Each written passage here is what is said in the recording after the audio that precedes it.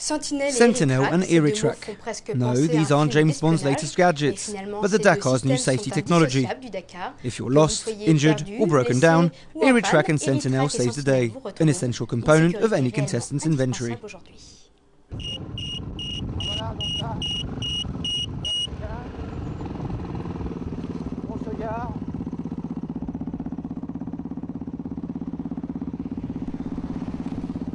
When the car horns, if the biker doesn't hear it, instead of ringing the car, we ring the motorbike. This is a Sentinel concept. So here you have a security vehicle which we've equipped. This box here sees the road. Here we regulate the ringtone and we can see that the flashlight reacts to the minimum volume. Now we're getting closer to the bike. I will blow the horn and he will receive the information from a distance with the Sentinel system. So he gets on one side and we can overtake him safely.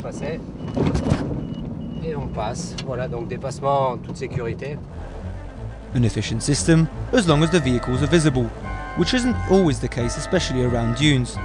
But the Sentinel offers an interesting solution.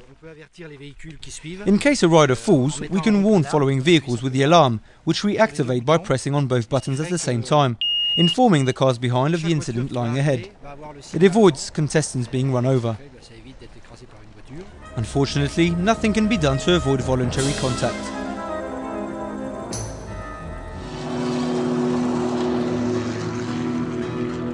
Another security system is the Iritrack, which enables the control posts on the race and in Paris to get a pinpoint location of all the racers wherever they are.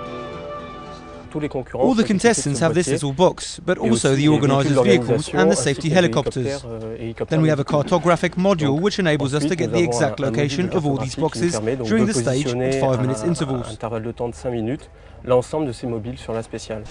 Amongst other things, the Erie Iritrack is also used to communicate with drivers. Everything okay with you? It's everything okay with me, thank you, yeah. I've only uh, uh, technical problems you have a technical problem. Yes. Okay. Thank you. Un bouton rouge, alarme corporelle grave. Le concurrent the red button signals a serious body injury. The rider presses that button and a text message is instantly sent to the race and Paris control posts. The green button signals a problem for another contestant along the road. And finally, the blue button enables us to communicate via a satellite phone with the Paris control post. All these security measures enable the racers to take risks on the road, knowing their guardian angels are watching.